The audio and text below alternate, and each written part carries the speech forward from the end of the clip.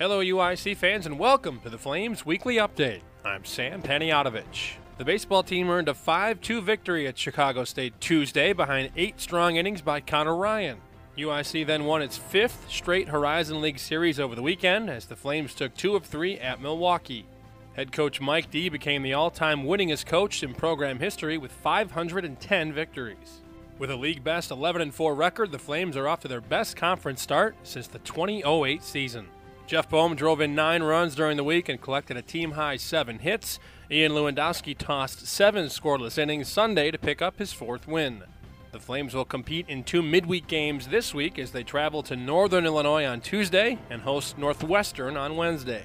The softball team began the week with a home sweep of Green Bay and a doubleheader on Tuesday. UIC then won two of three games at Valparaiso over the weekend and moved into a tie for second place in the Horizon League standings. Tiana Mac Miller homered twice and drove in eight runs to lead the Flames at the plate. Amanda Menner had nine RBIs, and Paige Peterson topped the squad with nine hits.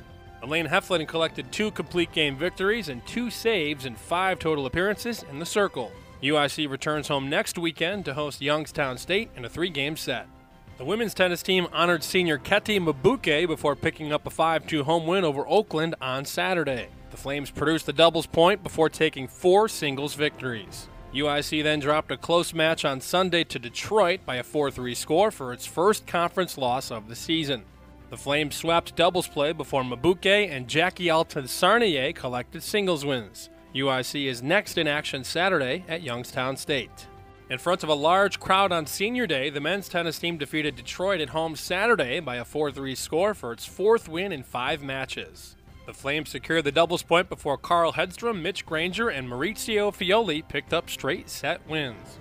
UIC then fell to Valparaiso by a 5 2 score Sunday afternoon. Hedstrom and Fioli collected their second wins of the weekend in singles play.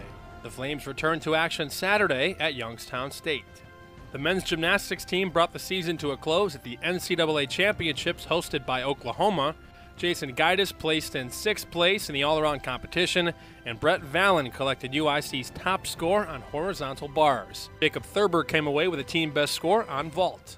The track and field teams competed at the Chicagoland Outdoor Championships on the campus of College of DuPage. The men's performance was highlighted by Michael Krupo, who finished second in the decathlon with the fourth most points in UIC history. Kyle Hauser won the 3,000 meter steeplechase, and Rebecca Zader was victorious in the 1,500 meter run. The Flames are back on the track Saturday for the Illinois Twilight in Champaign. The women's golf team placed 10th at Bowling Green's Dolores Black Invitational and improved by 14 shots from last year's event. Kelsey Jensen fired an 82 Sunday and finished in a tie for 42nd. She was second in the entire field with four birdies. UIC begins postseason play in two weeks at the Horizon League Championship in Florida. And finally, middle blocker Stephanie Yancey has been selected by USA Volleyball to participate in the Collegiate National Team program. The team is made up of 36 athletes and will train in New Orleans in late June.